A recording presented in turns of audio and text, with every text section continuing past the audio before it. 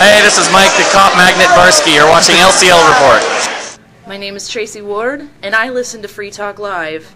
Ian, man up. Stop being such a baby about crap. And Mark, I love you, but sometimes you don't. You just go off on those rants just a little bit too hardcore.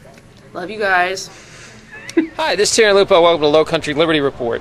Today I'm going to be talking to you about Mike Barskey. Mike is an activist in New Hampshire who started a service called Mail to Jail. You also might know him from Pimp My Activism.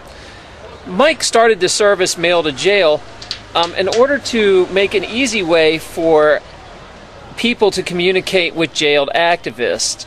In other words, all you have to do is go to mail-to-jail.com and you can just simply email a letter and Mike takes care of all the dirty work. He makes the stamp, he prints it out, he addresses the label, and it goes to prison.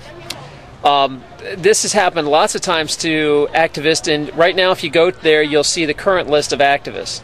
The reason I bring this up is because Mike is thinking about.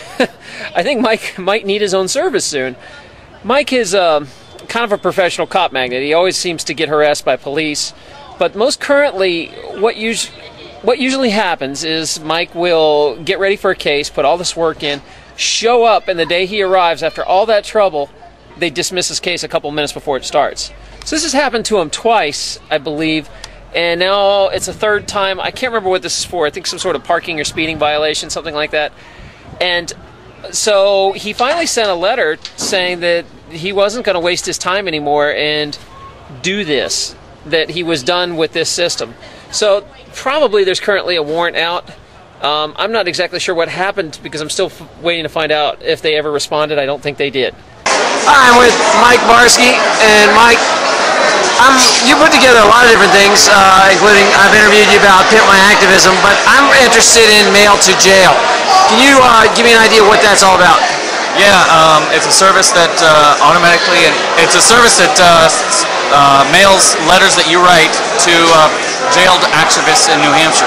So it doesn't cost you anything. It takes very little effort to send a letter or a postcard. It was very useful with Sam Dotson. How many uh, letters do you think went out during that campaign? Uh, I actually don't remember, although I have records sent, but I believe Sam said he got 150 to about 200 total, and he said mail to jail sent him about 80% of those. So all that's coming out of your pocket, correct? Are, are yeah, you getting I, donations at all? I pay for it. Well, yeah, it's coming out of my pocket, and people do donate it, and it's really appreciated at mail-to-jail.com, which is where you'd go if you want to send a letter uh, when there are jailed activists uh, you can also make a donation there, and I'd really appreciate it. But the important thing is to write the letters. Thank you so much. Thank you. So, check out mail-to-jail.com, and uh, that's a great way to throw Mike a couple bucks for what he's doing. Uh, he runs completely on donations, and it's just a great way to help out activists that are in jail. And if you know anyone's, you might want to contact Mike. Make sure that they're getting letters. As always, it's Terry Lupo. Good hunting.